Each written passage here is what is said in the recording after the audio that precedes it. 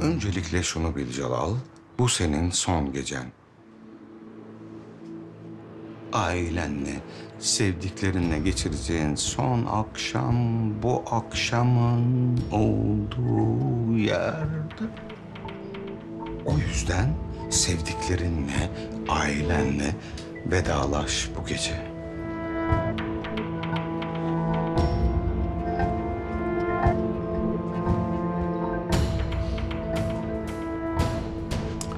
Demek Mustafa'ya karşılık canımı istiyorsun. Öyle mi? Yok Celal. Ben senin ölmeni istemiyorum. Ben senin yaşamanı istiyorum. Acı çekerek yaşamanı istiyorum.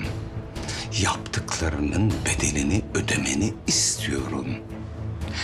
Her gününü, her dakikanı, her anını yaptıklarını düşünerek yaşamanı istiyorum. Çünkü bunu yaşayacak çok ama çok vaktin olacak.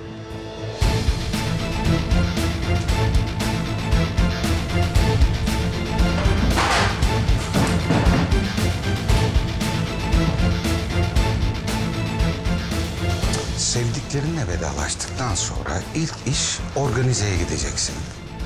Yusuf müdürün karşısına cüp oturacaksın.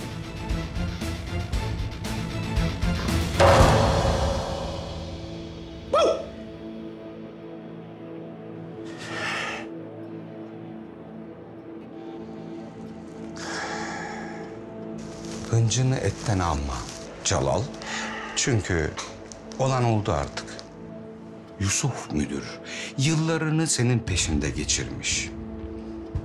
O seni iyi ağırlar o. Yusuf müdüre bütün suçlarını itiraf edeceksin. Her şeyi anlatacaksın ona.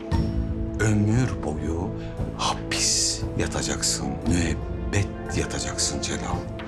Bu senin cezan.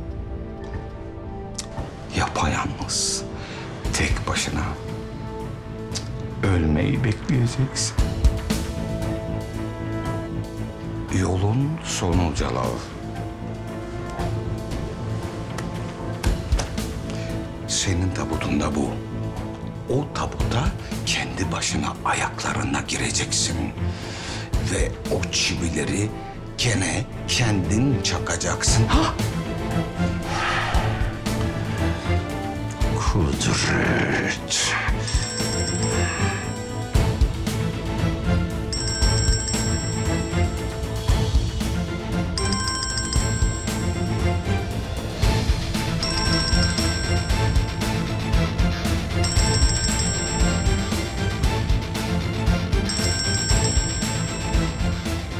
Hayırdır? Önemli bir haber mi bekliyorsun? Söyle.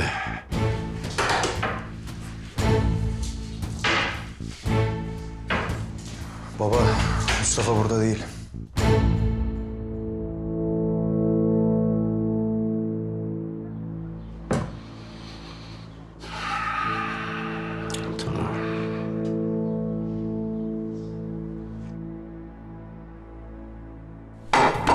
Beklediğin haber gelmedi galiba.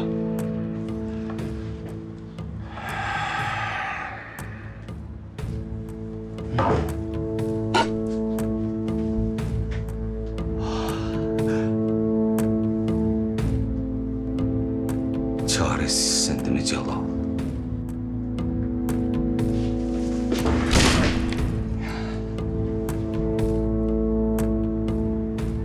Eğer Mustafa'nın yaşamasını istiyorsan benim dediklerimi yapacaksın. O kadar. Hadi diyelim ki söylediklerini yaptım. Gittim Paris'e de teslim oldum. Mustafa'yı bırakacağını nereden bileceğim? Sen hangi sözünü tuttun ki? Bana güvenmek zorundasın Celal. Eğer oğlunun bir şansı daha olsun istiyorsan kendini feda edeceksin.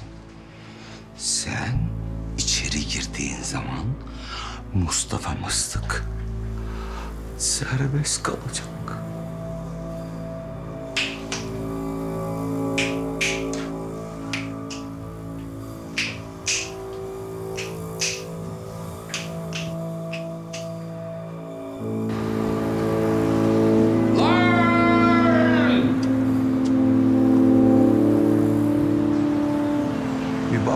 Baban neye bağırıyor minik serçe?